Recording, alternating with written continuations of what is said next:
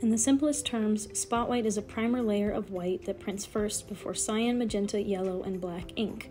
However, not all materials need a spot white layer, only non white materials like metallic or clear plastic, for example. To create spot white in Photoshop for this design, we start by selecting the item that we want to have 100% spot white behind. In other words, areas of the art that will appear as normal. There are many selection tools we use, but the Magic Wand tool is often the best choice. Here we're selecting the S and creating a new spot channel.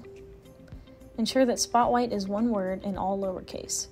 The color also needs to be set to 100% magenta with 100% solidity.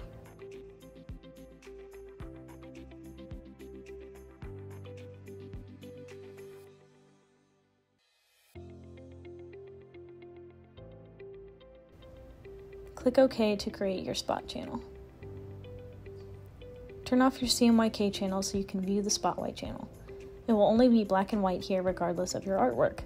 The areas that are black in your spot white channel will equate to 100% magenta, no effect applied in those areas. Here's another example. Since most of this label will not be metallic, we're starting with a solid magenta rectangle and we'll subtract out the areas we want to be metallic. We're creating the spot channel as before, we're selecting our CMYK channel only to select the desired metallic areas. Here we only want the red ingredients text to be metallic. We're using the Magic Wand tool to select, and then we'll navigate back to our spot white channel.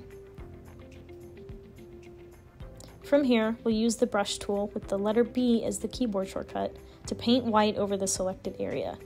To ensure you're painting with the correct colors, click D to show default colors and X to switch between them if needed.